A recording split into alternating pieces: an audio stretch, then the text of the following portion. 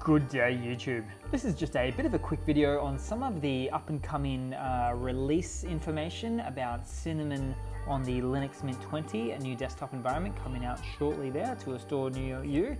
Now, it's uh, as you can see, I am actually already running Cinnamon 20, but it is a bit of an alpha version, uh, so it's not quite there yet, a little bit buggy, but I wanted to get into a few little things here.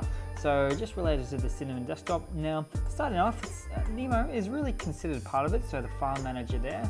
So probably the first thing I'll let you know is, although it says Nemo, uh, the Cinnamon release so far on the alpha version is updated to 4.6.x, so getting a little bit later from the 4.4 kind of uh, area there.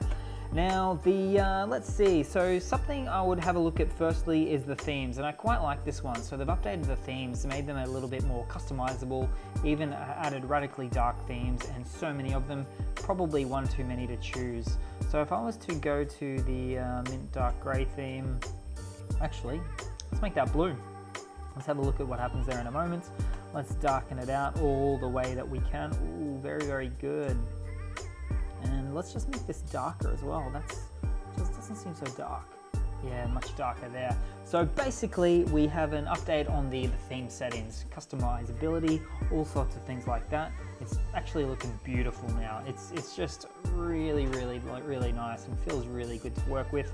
Let's go to the uh, folders, see, uh, whatever color you want. I would probably go with blue, so I really, really do enjoy that quite a lot and it's all built in the box so that will be good to see there as well.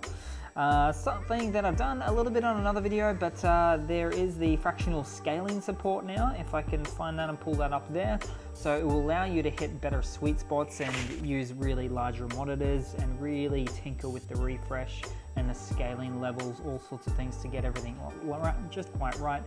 Things that, uh, say for instance, you plug a, a, large 4K monitor into your side of your laptop, makes things really work independently but well with each other. So again, covered that in another video, but I just wanted to go through that.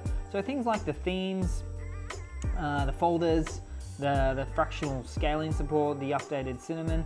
There's all these little bits and pieces of tweaks here that I really do like. Less programming, more visual in many ways, but uh, it's what you like to see there sometimes. So I'll follow up on this video with a bit more of a uh, fully qualified version of all the updates, Cinnamon and otherwise. But thanks for watching guys, please leave a comment, subscribe, hit that like button, and I really appreciate all your support. So I hope to see you there for the next one.